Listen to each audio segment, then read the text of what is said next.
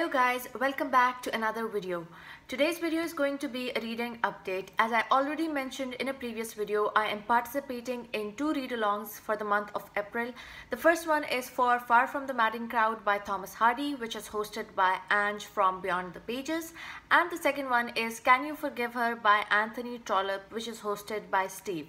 So I wanted to do a little update about the read-alongs. I have not made a lot of progress with Far From the Madding Crowd. I have only read 50 pages, but it is a short book, so I think I can manage to finish it uh, by the end of the month. I want to talk about Can You Forgive Her by Anthony Trollope, which I am reading and loving so far. Can You Forgive Her by Anthony Trollope is the first book in the Palliser series, which is a series of six or seven books, I think. Anthony Trollope was a Victorian author who wrote almost 47 books and I have only read one of his books which was The Way We Live Now and I loved that book. I'm 70% done with this book. I am on chapter 58. I always thought I would read the Chronicles of Barsetshire series first but when I heard about this read along I decided to jump in because I already had the book. I read a couple of chapters on audiobook and a couple of chapters on paperback depending on where I am. If I'm at home, I usually pick up the book and if I'm at work, then I use the audiobook. Can You Forgive Her is the story about Alice Vavasor who is engaged to be married to John Grey. By blood, she was connected with big people, distantly connected with some very big people indeed. But of these very big relations, she had known and seen little, and they had cared as little for her. Alice's fiance, Mr. Grey, was a man of high character, of good though moderate means. He was too well educated, of good birth, a gentleman, and a man of talent. No one could deny that the marriage would be highly respectable. Now, there's nothing wrong with John Grey, but Alice is not happy with this engagement.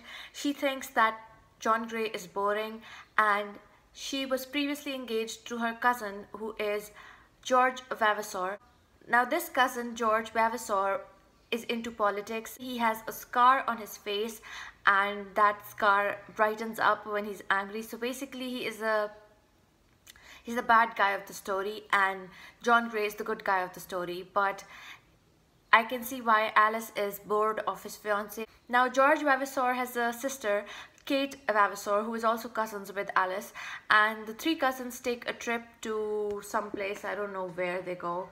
When she comes back from the vacation, Alice decides to break off her engagement with John Grey and she tells him that she does not think that they are going to be happy together. Later on, George writes a letter to Alice and he asks her to marry him.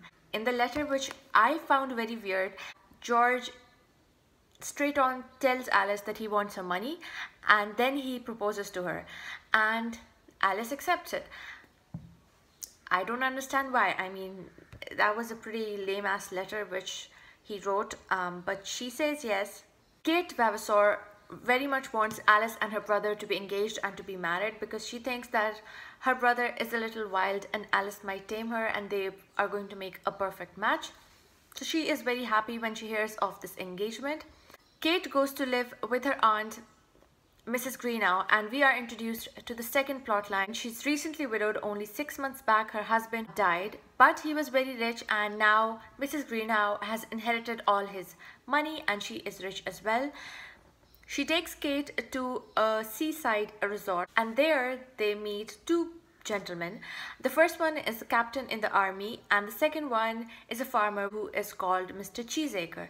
Now both these men are interested in Mrs. Greenow because she is not a very old woman. She is widowed but she has her charms and Mrs. Greenow wants Kate to marry Mr. Cheesacre who is the ugly fat farmer. Mrs. Greenow is basically leading on both the men. She's enjoying her time. She's basically playing with their feelings. Then we have this Third, a woman who is also a very rich lady and she's called Lady Glencora. She likes this guy, Burgo Fitzgerald. Burgo Fitzgerald is well connected, but he's not the most smart person in the world. Lady Glencora is proposed to by Mr. Palliser um, as the name of the series is the Palliser series, so you can see where that comes from. And Mr. Palliser is a very strict man. He is a politician. He's very different from Lady Glencora. But they end up getting married because Lady Glencora is forced to do so by her rich relatives who advise her against marrying Burgo Fitzgerald.